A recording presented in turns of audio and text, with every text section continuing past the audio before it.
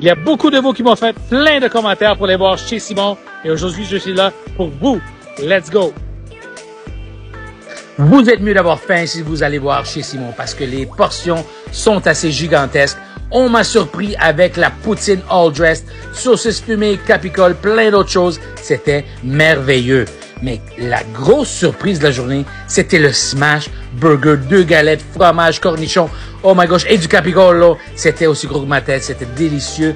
Peut-être le meilleur smash burger de ma vie. J'avais besoin d'une petite bière pour digérer et bien sûr, une sieste après ça. Faites un commentaire, suivez-moi, on se voit la prochaine fois. Ciao, ciao!